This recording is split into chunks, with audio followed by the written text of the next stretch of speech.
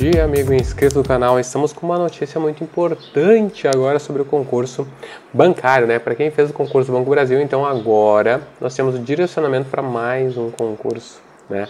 Uh, nós já sabíamos, estava muita especulação sobre esse concurso da Caixa Econômica Federal, né? Já desde algum tempo, alguns meses, sobre a possibilidade de um novo concurso em 2024.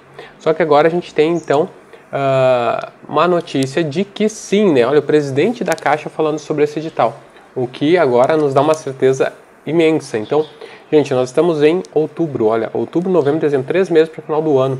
Então, nada mais, nada menos do que é a hora que você focar todos os seus estudos, né? Eu acredito muito que você focando nesses três meses finais do ano uh, para esse concurso da Caixa, tá? Você tem uma grande chance de ser aprovado. Tá? Lembrando que a gente tem outros concursos, concurso nacional unificado, outros concursos que tem por aí. Então, talvez, né, uh, se você não se perder no caminho e fizer as escolhas certas, tem uma grande chance mesmo de ser nomeado. Olha só, de acordo com o presidente da Caixa Federal, uh, a, a, presidenta, né, Rita Serrano, a expectativa é que o novo certame para a recomposição do quadro aconteça até o início de 2024. E aqui é bom porque eles colocam o prazo até o início. Tá? Então o prazo final é até o início, não é? Olha, a partir do ano que vem, então é até o início de 2024. Tá? A declaração foi dada durante uma entrevista coletiva, tá? transmitida pelo canal do Barão.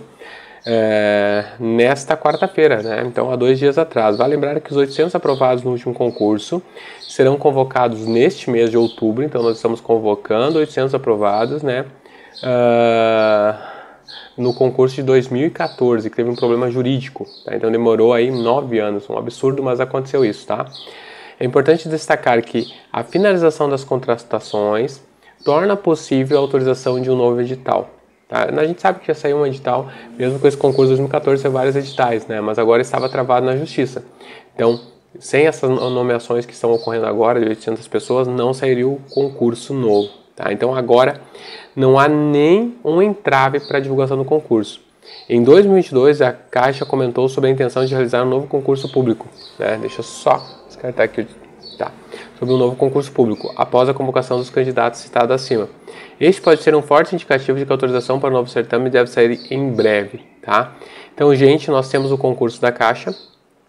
Uh, o salário é muito parecido com o do Banco do Brasil. Né? O setor bancário não muda muito assim o valor que você recebe, mais PLR, muda participação nos lucros, né?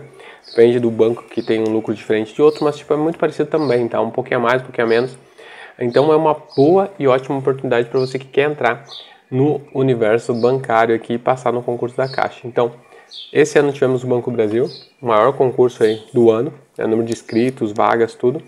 E agora a gente nos encaminhamos para o ano que vem, então, Caixa Econômica Federal no início do ano, o que novamente, minha dica, se eu quero passar no concurso da Caixa, eu que passei no concurso do Banrisul, aqui do Banco Estado do Rio Grande do Sul, quando eu decidi fazer foi exatamente uh, dessa forma, né? Eu migrei todos os meus esforços durante esses 4, 5 meses que eu sabia que ia sair o concurso para estudar para o concurso bancário, né? Então peguei uh, último edital, né? Peguei cursos preparatórios Naquela época eram apostilas, comprei apostilas para poder fazer do início ao fim e chegar bem preparado para conseguir minha aprovação. Então, essa é a minha dica, cara. Se você quer ser passar nesse concurso da Caixa, faça todo o seu foco agora daqui em diante no concurso da Caixa, porque agora é verdade, assim, não é mais especulação. A presidente falou que teremos concurso no início até o início de 2024. Então é aí, é seis meses, né? O início de 2024 é seis meses, primeiro trimestre. É isso que eu acredito, tá certo? Grande abraço e Deus no controle sempre.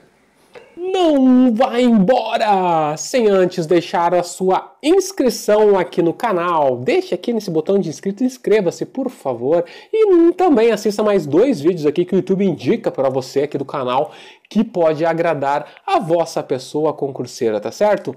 Um grande abraço e seja parte da família Mistreme dos concursos.